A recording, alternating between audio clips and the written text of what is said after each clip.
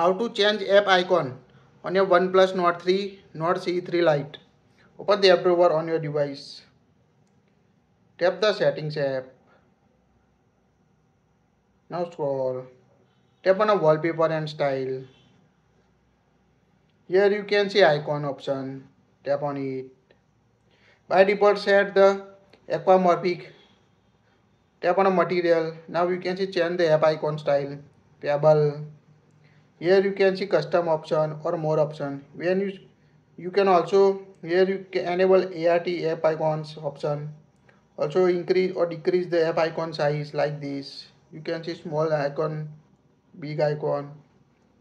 Also show or hide the show or hide the app names like this. Just toggle on or toggle app it show or hide app names.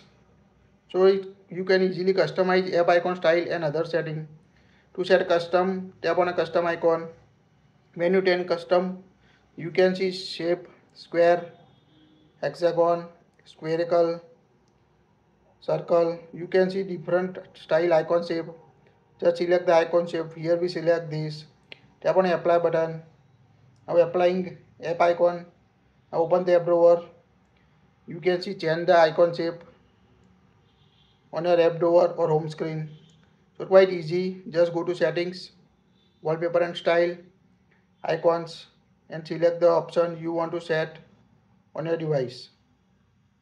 You can also see more option tap on more.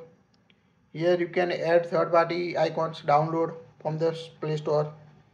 So just select the icon and customize the app icon settings on your OnePlus Nord 3 and other OnePlus device. That's it. If you like it share it